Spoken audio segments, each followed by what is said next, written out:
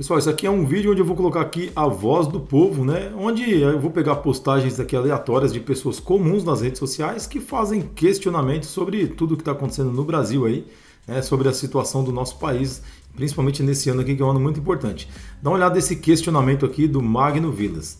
O que está acontecendo com os aliados do presidente? Tarcísio apoiando Datena em São Paulo e Flávio Bolsonaro apoiando Romário no Rio de Janeiro por que não apoia o Ricardo Salles e Daniel Silveira? Né? O, o Ricardo Salles em São Paulo e Daniel Silveira no Rio.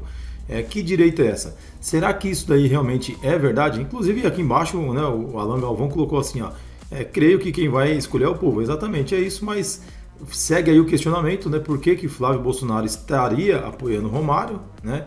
E por que, que o Tarcísio estaria apoiando o Datena? Será que isso realmente é verdade? Deixa nos comentários aqui o que você acha de tudo isso. Você do Rio de Janeiro e você de São Paulo apoiam essa, apoia aí essas duas de, supostas decisões?